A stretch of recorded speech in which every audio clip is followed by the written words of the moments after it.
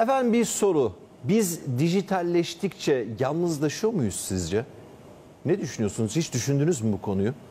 Yani acaba giderek bizi daha bir yalnızlığa ve derinliğe kendi başımıza mı bırakıyor bu dijital dünya? Bakın Üsküdar Üniversitesi'nde bir grup akademisyen tam da bu konuyu Türkiye'de dijitalleşme ve yalnızlık arasındaki ilişki nedir diye bir çalışmaya imza attılar. Türkiye'nin 81 ilinde yapıldı bu anket ve çıkan sonuçlara göre özellikle salgın dönemi gençlerde bir yalnızlığı getirdi. Hatta bu yalnızlığı derinleştirdi. Gaye Sude Kayışlı ve Halil Kahraman'ın haberi. derin yalnızlık dediğimiz ve dijital çağın ortaya çıkarmış olduğu yeni bir yalnızlık türüyle karşı karşıyayız. Salgın aniden geldi. Uygulanan karantinalar sosyal ilişkileri zayıflattı.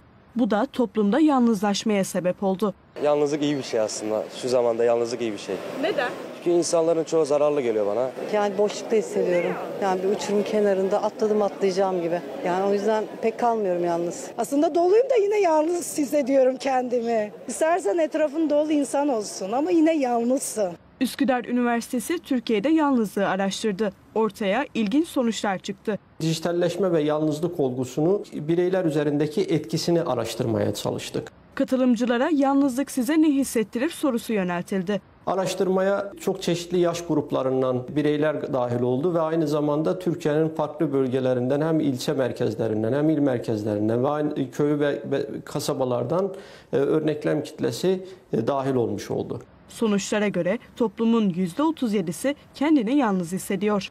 18-20 yaş arasındaki gençler kendini en yalnız hisseden grup oldu. Salgınla beraber insanlar daha da yalnızlaştı. Yapılan bir araştırmaya göre Türkiye'deki gençler kendini artık daha da yalnız hissediyor. Yani insanlar dört duvar arasında kalınca kendisini yalnız hisseder ama bazı insanlar kendi içinde de yalnız. Çok mutsuz ediyor bazen, bazen de çok huzurlu ve mutlu ediyor.